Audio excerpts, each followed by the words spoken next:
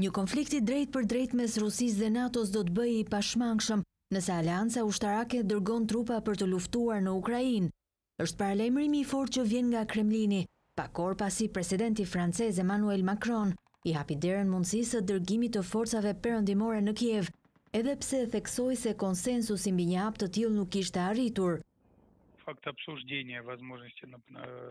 Thjesht fakti që po diskutohet mundësia e dërgimit të kontigjenteve të caktuara në Ukrainë nga vendet e NATO-s është një element i ri, shumë i rëndësishëm. Në këtë rast nuk do të flisnim më për mundësinë, por pashmangshmërinë e një lufte NATO-Rusi.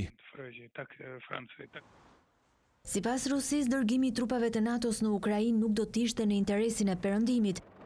Aleanca ushtarake nga ana e vet ka nxituar të sqarojë se nuk ka në plan të dërgojë forca në shtetin në luftë.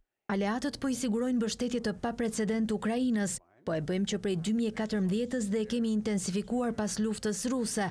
Por nuk ka plane për dërgimin e trupave luftarakë në terren, tha sekretari i përgjithshëm i Aleancës Jens Stoltenberg, Gjithashtu një funksionar i Shtëpisë së Bardhë pohoi se Shtetet e Bashkuara nuk kanë ndërmend ta ndërmarrin një hap të tillë. Rusia sakaq deklaroi të martën se kishte parandaluar një sulm terrorist me armë kimike nga ukrainasit në rajonin e Zaporizhas.